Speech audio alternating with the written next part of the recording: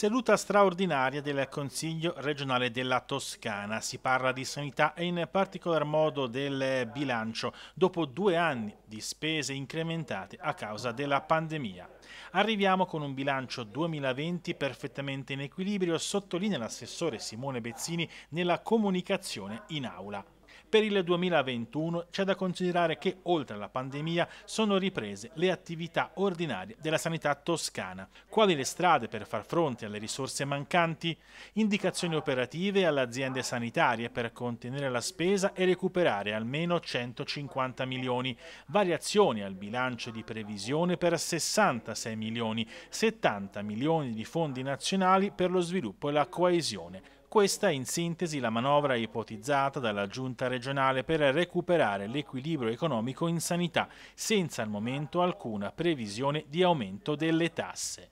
Il 2021 è stato un anno dove sono tornate a crescere, seppur in un quadro di difficoltà nella relazione tra offerta e domanda, i volumi di attività delle, eh, delle aziende sanitarie.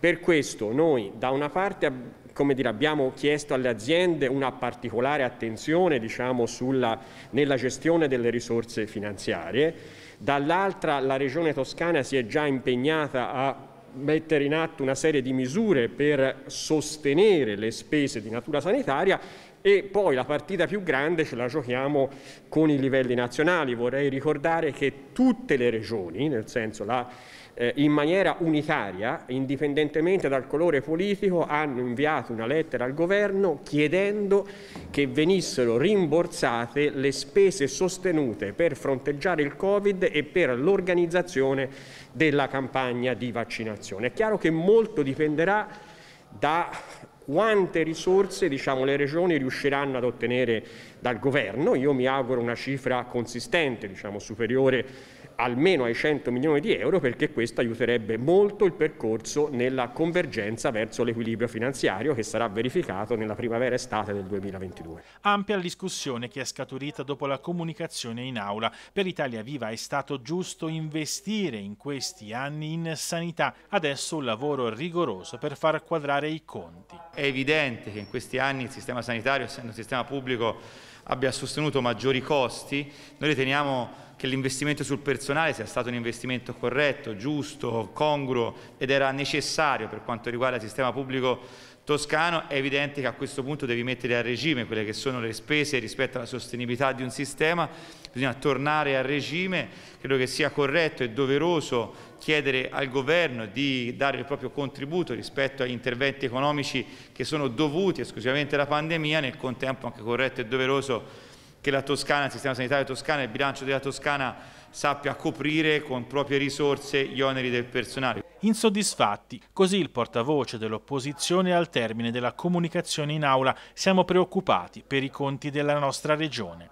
Non tutti i soldi che mancano arriveranno allo Stato, quindi sicuramente ci sarà un intervento da parte della Regione che chiaramente oggi non ci viene detto come, quale, perché, quando sarà eh, fatto questo eh, intervento di bilancio. Eh, una situazione attuale in cui eh, i cittadini eh, per fare una visita devono attendere eh, liste d'attesa lunghissime e molto spesso rinunciare e affidarsi a privati, una situazione attuale che vede sindacati dei medici, degli infermieri protestare perché chiaramente anche sulla situazione dei dipendenti degli operatori sanitari, dei medici e anche delle assunzioni, delle nuove assunzioni, non possiamo paragonarle ovviamente allo scorso anno, ma dobbiamo andare un po' più a ritroso e capire che cosa è successo negli ultimi 3-4 anni per capire quanta necessità di medici, nuovi medici, nuovi infermieri e nuovi operatori sanitari sono necessari nella nostra sanità toscana. Siamo stati noi a richiedere la comunicazione in aula, sottolinea la Lega, ma le risposte non sono arrivate. Noi reputiamo che per fare un'analisi compiuta di quello che è realmente la situazione, del buco che ormai è accertato che c'è e anche provare a portare delle soluzioni c'è bisogno dei numeri. In questa comunicazione non troviamo tra l'altro tutta la fase della prima gestione pandemica, che è quella secondo noi che ha portato la Toscana nelle difficoltà che vediamo ora.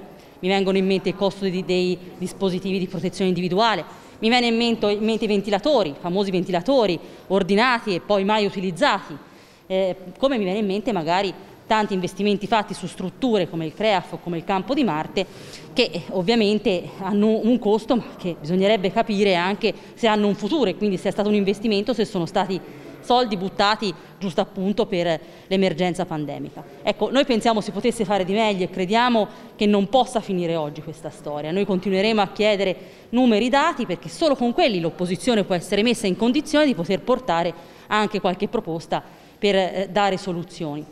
Non è solo colpa della pandemia, dice Fratelli d'Italia, se i conti in sanità in Regione Toscana non tornano. In realtà eh, la Corte dei Conti nella propria relazione annuale aveva già avvisato che eh, i eh, conti non tornavano, scusate il bisticcio di parole, che non c'era programmazione in ambito sanitario, che i bilanci erano illeggibili, addirittura il bilancio di previsione, il bilancio di previsione 2021 dell'ASL Toscana Centro viene approvato dalla Giunta regionale soltanto ad agosto e con il parere contrario del collegio sindacale, che era stato pronunciato cinque mesi prima, una cosa che eh, dovrebbe far saltare in piedi sulla sedia. È vero invece che la sanità sconta una politicizzazione che va avanti da decenni, che ha avuto costi enormi, insomma anche se non verranno alzate le tasse e noi ancora non ne siamo certi purtroppo, comunque verranno tagliati i servizi, è evidente per coprire questo buco che è causato dalle scelte folli, dalle scelte mancate, dalle scelte politiche sbagliate di questi anni. Precisiamo, sottolinea Forza Italia, è stato giusto spendere questi soldi per contrastare la pandemia, ma adesso ci vuole chiarezza sui conti. Abbiamo semplicemente chiesto però che ci venisse detto se esiste veramente questo buco di bilancio e oggi abbiamo accertato che sono 320 milioni di euro quello che manca nelle casse del sistema sanitario regionale, dove è finito? Le risposte non sono state esaustive, non ci hanno convinto, proseguiremo con tutta una serie di atti ispettivi per capire realmente all'interno dei bilanci delle AS dove sono finiti quei soldi lì, Abbiamo però anche confermato una cosa, il Presidente Gianni, a questa Giunta. Quando c'è bisogno di Forza Italia, Forza Italia c'è, Sosteniamo anche la battaglia delle regioni nei confronti del governo per avere più risorse per combattere la pandemia. Di risposta tardiva e incompleta parla anche il Movimento 5 Stelle. Non si riesce a capire come la Giunta rimedierà allo squilibrio di bilancio. Nei giorni scorsi si è parlato di aumento dell'IRPEF, del bollo auto e di tagli agli altri assessorati per cercare di ripianare questo disavanzo. E quello che leggiamo oggi invece è che queste soluzioni non sembrano contenute all'interno della comunicazione, ma si aspetta un intervento da parte del governo, così come lo aspettano le altre regioni. Io trovo invece che i problemi relativi alla sanità toscana siano di vecchia data e tutti i tagli, chiamati razionalizzazioni, che sono state fatte negli anni precedenti hanno soltanto aggravato una situazione già complessa e non hanno migliorato nulla in fatto di servizi, e non hanno sicuramente migliorato eh, quello che è l'aspetto del personale, che invece continua a essere molto poco. Gli ospedali minori sono sempre più impoveriti, si parla di eccellenze, ma non si riesce a gestire la sanità territoriale. Per il capogruppo del PD esce invece un quadro chiaro. La regione toscana è stata quella che ha garantito meglio i livelli di assistenza in questi anni di pandemia. Sulla lotta al Covid abbiamo operato bene e sul bilancio? Per quanto riguarda il 2021 ci sono invece delle risorse che sono state spese quantificabili in oltre 300 milioni per contrastare il Covid, che sono servite per allestire gli hub vaccinali, che sono servite per i ventilatori polmonari, che sono servite per quanto riguarda i tamponi che sono stati dati gratuitamente. Insomma, tutte misure assolutamente necessarie per salvare le vite. Per far fronte a questo c'è nella comunicazione anche un'ipotesi di rientro che poggia per alcuni aspetti sulle eh, eh, risorse che fanno parte del bilancio, non della sanità, che però possono essere in questo caso eccezionalmente eh, dirottate verso la sanità. Ci sono risorse dei fondi sviluppo e coesione che fanno eh, lo stesso percorso, ma c'è soprattutto una richiesta che è stata rivolta al governo da tutte le regioni perché Le regioni, chi più chi meno, sono nelle condizioni di avere speso più soldi di quelli che avevano per poter contrastare il Covid e qui aspettiamo che il governo dia una risposta e dia una risposta positiva a 2 miliardi e mezzo che le regioni italiane hanno chiesto appunto come ristoro eh, per quanto riguarda il Covid. A conclusione dell'intervento del governatore Eugenio Giani, i dati sui vaccini, quelli sui contagi, mostrano come la Regione abbia ben operato in questo anno contro il Covid. Certo i costi sono aumentati, dice, ma è pronto il nostro piano per far fronte alla necessità di nuove risorse. Per recuperare questi costi maggiori ho prospettato eh, le tre linee di azione, alcuni risparmi eh, da dare alla sanità da parte degli altri settori della Regione. Eh, abbiamo naturalmente una variazione di bilancio fra qualche giorno di 67 milioni di risorse tolte da altri settori destinate alla sanità.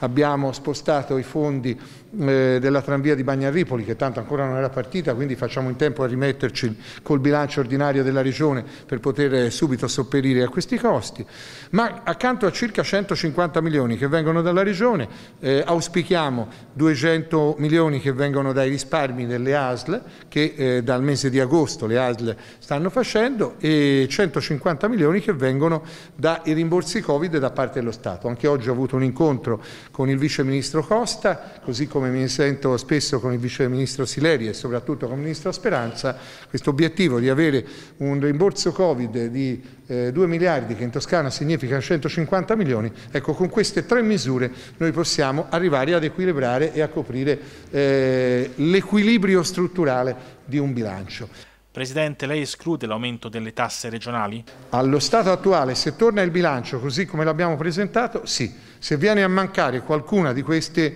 eh, voci è evidente che dovremo considerare anche altre strade.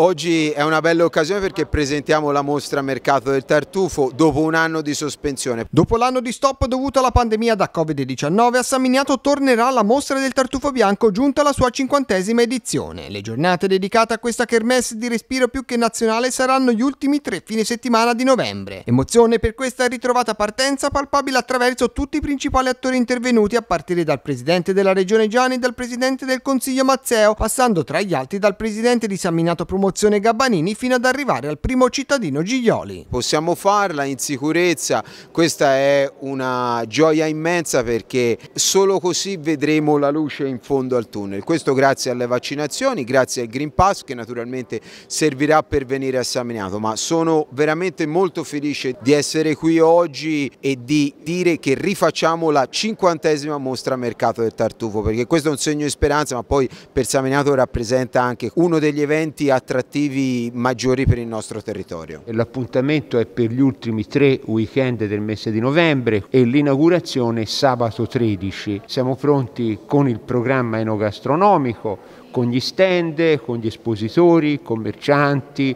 di tartufi, vignaioli, arti bianche e così via e siamo pronti anche con un programma collaterale importante, culturale, sociale, sportivo, declinato al femminile. Dunque la donna come protagonista di tante iniziative. Non era semplice, non era scontato che si svolgesse questa iniziativa, ma lo si farà in sicurezza e si continuerà a lavorare nella direzione che abbiamo sempre tracciato, sostenere ogni iniziativa che porta la Toscana nel mondo e questa è un'iniziativa che fa conoscere una nostra eccellenza, il tartufo di San Miniato, un'eccellenza riconosciuta dovunque.